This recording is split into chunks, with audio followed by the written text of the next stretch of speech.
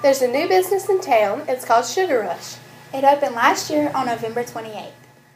What is your absolute favorite item on the menu, Nancy? My favorite item on the menu are the glazed donuts. They're awesome. What about yours, Erin? Mine's the strawberry bubble tea. Sugar Rush is located in Bayou La Batre, where Railroad Street meets Highway 188. Some of the items on the menu are donut holes, chocolate iced donuts, or a blueberry fruit slushy.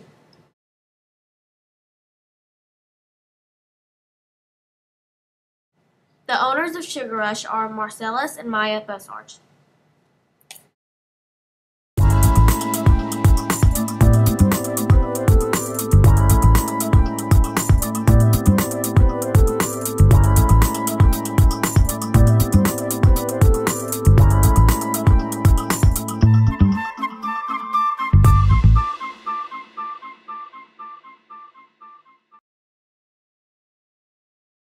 See you at Sugar Rush!